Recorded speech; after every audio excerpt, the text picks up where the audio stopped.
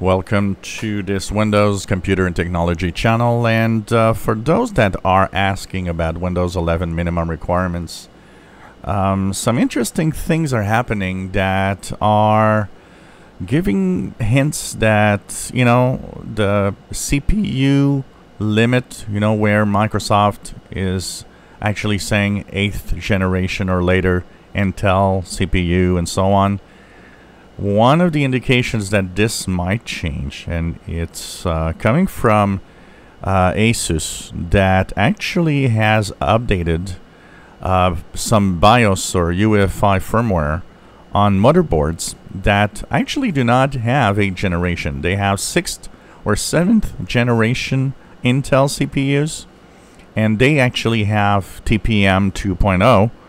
And what they did is they actually updated the BIOS for these to enable TPM, which was turned off, turning technically these motherboards into compatible Windows 11 boards.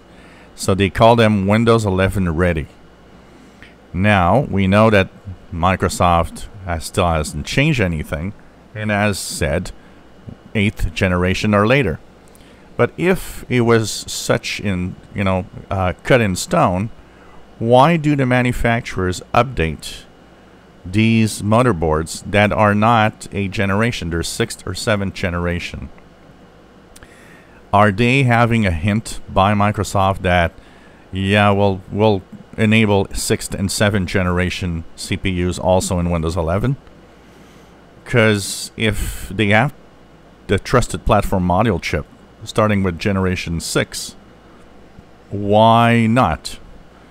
It actually works well for security and for the most part, these 6th and 7th generation, a lot of them are still very powerful and powerful enough to run Windows 11. So this is interesting.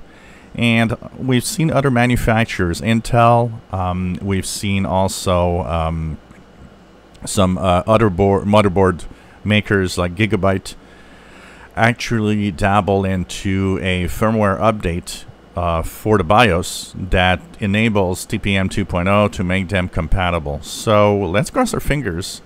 Um, I think this is a step in the, the right direction where it's actually telling you, yeah, yeah these are going to work. They're going to be okay. So that would leave only the TPM or Trusted Platform module to be a limit for motherboards I honestly don't have too much problem with that. People that complain that TPM should not be a limit, I don't agree because it has to do with security. And if, you know, we need everything we need in security, especially when people tell me, well, you know, why should a user at home need security with TPM and blah, blah, blah. This is not something you're going to have to, you know, think about and work with. It's going to be there. It's going to be implemented. And if you do banking on your computer, you want all the security you need. I say it all the time. You do banking, you have tons of accounts that you go through, you check your credit card stuff. Uh, you need security, and TPM I think is a uh, is a good requirement, a good minimum requirement. But if they push it to seventh and sixth generation, that could be interesting. So let's keep an eye on that because I don't think these manufacturers are actually pushing this change um, just thinking that maybe it's to work. I think they're pushing pushing this change because they know that Microsoft will issue more relaxed rules for the minimum requirements. If you enjoy my videos, please subscribe, give us thumbs up. Thank you for watching.